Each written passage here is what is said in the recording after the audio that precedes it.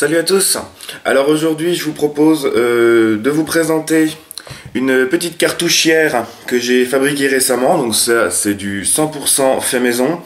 Euh, je vais vous montrer comment la réaliser, vous allez voir de façon euh, assez simple, c'est vraiment, vraiment très très simple à faire, il vous faut juste à peine de, de notions de couture. je vais vous montrer quels matériaux j'ai utilisé, vous allez voir qu'il y a un petit peu de récupération et très très peu d'achat, c'est assez simple. Alors le principe pour fabriquer cette petite cartouchière que vous pouvez après euh, modifier euh, allègrement selon vos goûts pour l'adapter différemment de ma façon de faire. Tout ce qu'il va vous falloir, c'est déjà une grosse bande de tissu. Donc cette bande de tissu qui est là en dessous. Moi, ce que j'ai utilisé, euh, c'est ça. Vous allez voir euh, facilement. c'est une ancienne, euh, c'est une vieille ceinture. En fait, c'est une simple, c'est une vieille ceinture en tissu que j'ai retrouvée au fin fond d'un placard. C'est un bon tissu bien costaud, bien épais.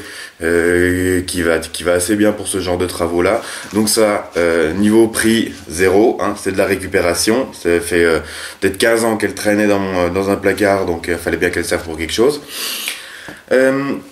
Euh, ensuite, il va falloir bien sûr du fil, une aiguille, donc ça pareil, gratuit, que ce soit votre copine, votre mère ou votre grand-mère, vous aurez certainement facilité de trouver ça chez vous, donc pareil, ça vous coûtera rien.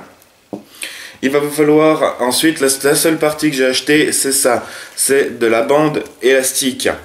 Donc après, différents, vous pouvez en trouver différentes, euh, tailles, différentes épaisseurs. Euh, moi, j'ai pris comme ça parce que j'en ai besoin pour autre chose. C'est ce qui me restait. Euh, ça, ça, vous coûte à peu près 1 euro, 1 euro 50 le mètre. Et là, avec un mètre, il y a largement de, faire, de quoi faire ce que j'ai fait. Donc, on peut facilement dire que cette réalisation m'a coûté à peu près 1,50 euro. Donc euh, par rapport au prix qu'on peut payer ça neuf, c'est quand même euh, c'est quand même euh, c'est quand même pas trop mal.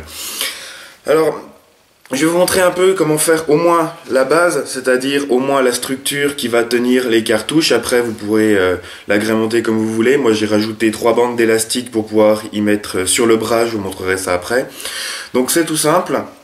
Vous allez prendre votre bande avec votre morceau élastique. Vous allez le fixer un bout, vous allez prendre une cartouche, la passer, la serrer correctement dessus, euh, que ce soit serré quand même pour que ça tienne. Donc vous allez tendre en général un peu plus la bande et vous allez venir avec votre aiguille piquer ici pour que ça tienne correctement, pour que ça, pour prendre un peu la marque de l'endroit où il faut coudre. Ensuite, vous allez enlever la cartouche et venir faire toute la longueur de la bande élastique et répéter le principe ainsi pour avoir le nombre de slots nécessaires. Moi, j'ai 5 cartouches, donc j'en ai fait 5. Et euh, après, voilà, il y a quand même pas bien, il y a quand même pas grand chose à faire. Donc, vous voyez qu'en gros, entre chaque, entre chaque slot, il y a euh, un, passage de couture qui est fait, il y en a un ici, et vous répétez l'opération jusqu'à obtenir le nombre de slots nécessaires qu'il vous faut.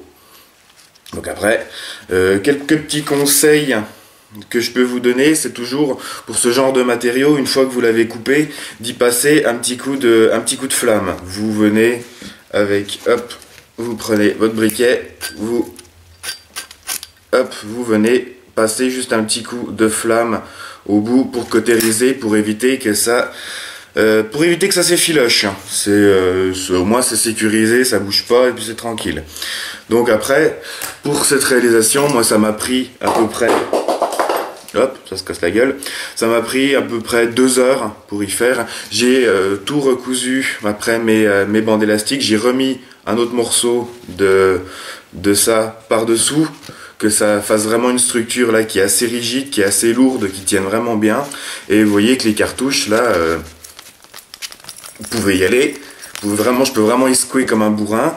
Ça tient bien. Et par contre, elles s'enlèvent vraiment nickel. Elles se remettent tout aussi, tout aussi facilement. Donc c'est vraiment vraiment tout simple à faire et euh, je vous propose de vous montrer un peu ce que ça donne euh, une fois installé bah, sur mon bras. Alors voilà, c'est installé. Donc voilà, pour moi, comment j'y ai fait, ce que ça donne. Donc j'ai installé ça sur mon bras droit. Vous voyez qu'avec euh, du coup avec la souplesse euh, des bandes élastiques et puis de la, de la bande qui est en dessous, ça ne gêne absolument pas pour les mouvements, les mouvements du bras. Je, ça ne gêne absolument pas pour y réinstaller les cartouches, donc pas besoin d'enlever le machin à chaque fois que vous avez rechargé les cartouches pour les remettre dans, le, dans la cartouchière. Impeccable. Et pour le rechargement, donc là, mettons, hop, je suis en partie, je recharge, je récupère ma cartouche vide ici, hop, je la largue en général dans la dump pouch, je chope la suivante, je la remets dans le pont, et hop, c'est tout bon, je suis prêt à repartir. Donc euh, ça fait quand même assez rapide, hein. je, hop, j'ouvre, je largue, j'en chope une autre, je réinsère, et je suis prêt à repartir. Ça prend un rechargement d'à peu près 4 ou 5 secondes. C'est impeccable. En plus, ça donne un look assez sympa. C'est un objet qui est quand même pas inesthétique. Ça donne quelque chose d'assez sympa. Et après, hop, je récupère mes cartouches, je les regraille et hop, je les réinstalle tranquillement dans ma cartouchière. Donc voilà, moi ça m'intéresse toujours de faire des petits trucs euh, déjà qui m'occupent et qui euh, prennent euh, Là, je vous ai dit à peu près deux heures pour faire ça, d'une façon assez propre, hein, c'est comme pas fait à l'arrache, tout à la main. Et vous voyez que c'est un petit truc, ça m'a coûté là, je vous ai dit, 1,50€. Donc c'est vraiment un prix qui défie toute concurrence, on va dire. Donc c'est pas mal. Dites-moi ce que vous en pensez. Après, libre à vous de prendre, de faire seulement la même base sans, en évitant les, euh, les bandes pour mettre autour du bras. Après, de fixer ça euh, sur le corps du fusil à pompe, de fixer ça euh, après la ceinture, sur les, euh, sur les passants molles d'un gilet tactique, sur la sangle, même on, on, voit souvent des cartouchières sur la sangle des fusils à pompe. Libre à vous de, laisser cours à votre imagination et de faire ça comme ça vous intéresse. Vous voyez que moi, j'ai choisi d'y fixer sur le bras parce que je trouve que c'est assez pratique. Après, vous pouvez vraiment faire ça euh, comme ça vous intéresse. Je vous ai montré vraiment le, le, principe de base pour la réaliser. Vous voyez que c'est, euh, ça fait vraiment un truc là qui, euh, je peux secouer le bras dans tous les sens. Ça ne bouge, ça ne bouge vraiment pas. Les cartouches ne risquent pas de se faire la malle. Le truc est assez serré et pas, pas trop pour, euh, pour pas m'étouffer le bras. Donc euh, voilà, c'est tout simple. Et il y en a pour 1,50€. Donc voilà, petite réalisation sympa. Euh, J'espère que ça vous plaira. N'hésitez pas à me donner votre avis là-dessus. Euh, N'hésitez pas à me dire ce que vous en pensez, si vous trouvez l'idée sympa, si, euh, si ça vous donne des idées pour le refaire. Euh, N'hésitez pas via ma page Facebook, je vous mets le lien dans la description, via ma page Facebook à m'envoyer la photo de votre réalisation. Ça me fera toujours plaisir de voir que vous avez, que vous avez pris l'idée et puis que vous l'avez réalisée. Donc n'hésitez pas à m'envoyer la photo. Sur ce, je vous dis merci à tous d'avoir regardé.